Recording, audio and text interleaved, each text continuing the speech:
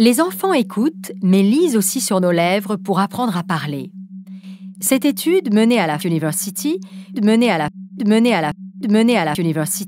cofinancée par les NIH, cofinancée par, cofinancée par, par les NIH et publiée dans l'édition du 19 janvier et publiée dans, et publiée et publié dans l'édition du 19 janvier des PNAS, non seulement révolutionne totalement la vision conventionnelle de l'apprentissage du langage par l'écoute, la vision conventionnelle de l'apprentissage la vision conventionnelle de l'apprentissage de l'apprentissage de l'apprentissage de l'apprentissage mais va contribuer à pouvoir détecter mais va contribuer à contribuer à pouvoir détecter plus tôt les enfants atteints de troubles du spectre autistique. Les enfants atteints de troubles les enfants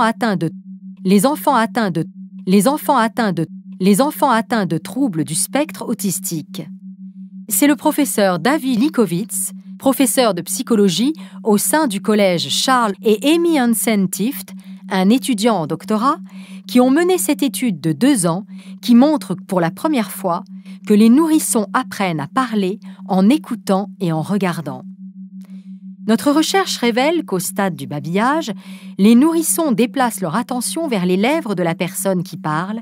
Au stade du babillage, au stade du babillage, déplacent leur attention vers les lèvres, vers les lèvres de la personne, de la personne qui parle, et vont se concentrer ainsi durant une période de plusieurs mois, ainsi durant une période, ainsi durant une période, ainsi durant une période, jusqu'à maîtriser les sons de base de leur langue maternelle, jusqu'à maîtriser les jusqu'à maîtriser les sons de base, résume le docteur Likowitz, un expert de renommée internationale sur le développement sensoriel du nourrisson.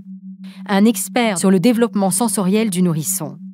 C'est au moment où il commence à émettre les premiers sons que les bébés commencent à déchiffrer les mouvements de nos lèvres. Un indice pour le diagnostic de l'autisme. Ces résultats surprennent par leur nouveauté, mais pourront être très précieux pour le diagnostic des troubles du spectre autistique de manière beaucoup plus précoce.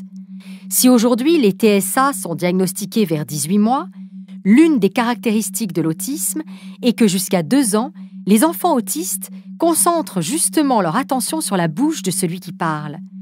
Il est donc très probable qu'un enfant qui continuerait à se concentrer sur les lèvres de son interlocuteur au-delà de l'âge de 12 mois, suggère l'auteur, présente un risque plus élevé d'autisme. C'est un signe qui peut inciter à effectuer d'autres évaluations afin de confirmer le diagnostic éventuel, mais de manière plus précoce. L'étude a été menée sur des tout-petits, des nourrissons âgés de 4, 6, 8, 10 et 12 mois, qui ont visionné des vidéos de femmes qui s'exprimaient soit dans la langue du nourrisson, soit dans une langue étrangère. Pendant les vidéos, les chercheurs enregistraient les mouvements des yeux des enfants grâce à un système d'eye tracking. Les chercheurs aboutissent à trois conclusions. La concentration du regard sur les lèvres indique que les nourrissons se livrent à la lecture labiale pour apprendre à parler. Le retour du regard sur les yeux de l'interlocuteur indique l'acquisition de compétences en langue maternelle, ainsi que la nécessité de glaner des indices pertinents disponibles dans les yeux de l'interlocuteur. Enfin, la persistance de la lecture labiale, dans le cas d'un discours en langue étrangère, indique le retour de l'enfant à un apprentissage de départ de la langue. Activité 7. Les enfants écoutent, mais lisent aussi sur nos lèvres pour apprendre à parler.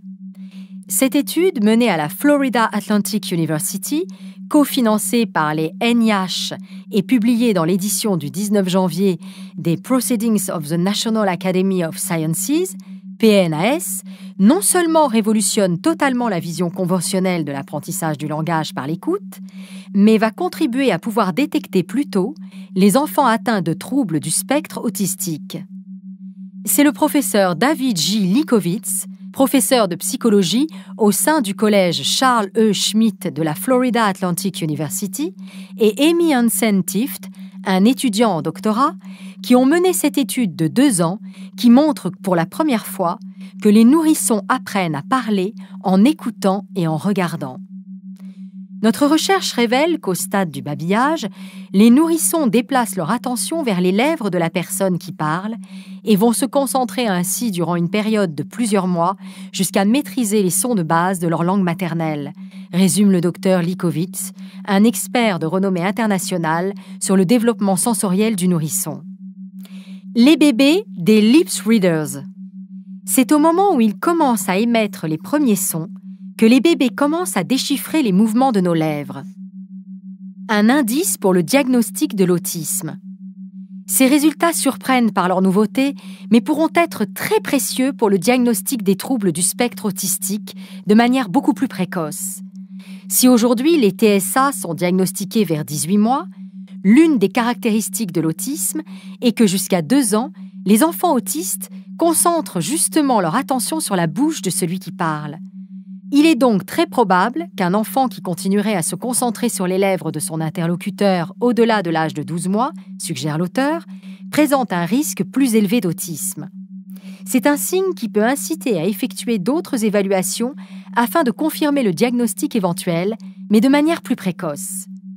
L'étude a été menée sur des tout-petits, des nourrissons âgés de 4, 6, 8, 10 et 12 mois, qui ont visionné des vidéos de femmes qui s'exprimaient, soit dans la langue du nourrisson, soit dans une langue étrangère. Pendant les vidéos, les chercheurs enregistraient les mouvements des yeux des enfants grâce à un système d'eye tracking. Les chercheurs aboutissent à trois conclusions. La concentration du regard sur les lèvres indique que les nourrissons se livrent à la lecture labiale pour apprendre à parler. Le retour du regard sur les yeux de l'interlocuteur indique l'acquisition de compétences en langue maternelle, ainsi que la nécessité de glaner des indices pertinents disponibles dans les yeux de l'interlocuteur. Enfin, la persistance de la lecture labiale, dans le cas d'un discours en langue étrangère, indique le retour de l'enfant à un apprentissage de départ de la langue.